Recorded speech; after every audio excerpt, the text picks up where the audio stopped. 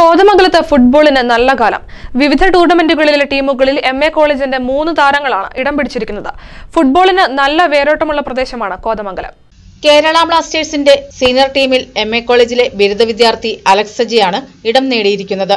ഉടൻ ആരംഭിക്കുന്ന super league football ടൂർണമെന്റിൽ അലക്സ് ബ്ലാസ്റ്റേഴ്സിന്റെ ബൂട്ടണിയും.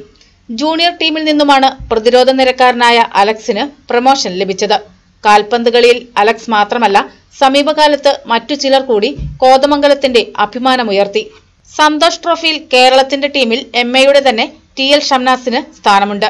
പ്രാഥമിക റൗണ്ടിലെ മികച്ച പ്രകടനത്തിന്റെ അടിസ്ഥാനത്തിലാണ് ഫൈനൽ റൗണ്ടിലും മുന്നേറ്റ നിരക്കാരനായ ഷംനാസിനെ ഉൾപ്പെടുത്താൻ ടീം മാനേജ്മെന്റ് തയ്യാറായത്. ഫുട്ബോളിന്റെ കുഞ്ഞൻ രൂപമായ ഫോർസിൽ ഇന്ത്യൻ ടീമിൽ അംഗമാകാനുള്ള അപൂർവ അവസരമാണ് വിഷ്ണു മനോജിന് കൈവന്നിരിക്കുന്നത്.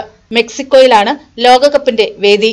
എം എ കോളേജിന്റെ ചരിത്രത്തിലുടനീളം ഒട്ടേറെ താരങ്ങളെ സംഭാവന ചെയ്യാൻ എം എ കോളേജിന് കഴിഞ്ഞിട്ടുണ്ട്. ഇതിന്റെ തുടർച്ചയാകാൻ പുതുതലമുറയ്ക്കും കഴിഞ്ഞിരിക്കുകയാണ്. മികച്ച ഫുട്ബോൾ ടീമിനെ ഒരുക്കാൻ ഇത്തവണയും എം എ കോളേജിന് കഴിഞ്ഞിരുന്നു.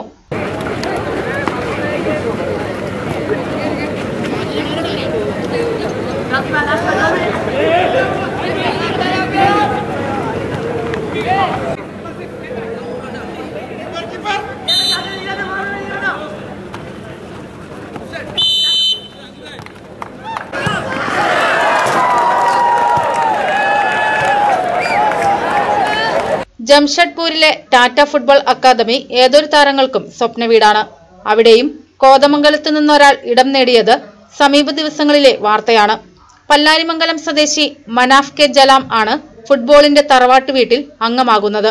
ഇന്ത്യയൊട്ടാകെ നടത്തിയ സെലക്ഷൻ ട്രയൽസിലൂടെ അക്കാദമിയിൽ പരിശീലനത്തിന് അവസരം ലഭിച്ച ചുരുക്കം ചിലരിൽ ഒരാളാണ് Manaf. K C news Kothamangalam.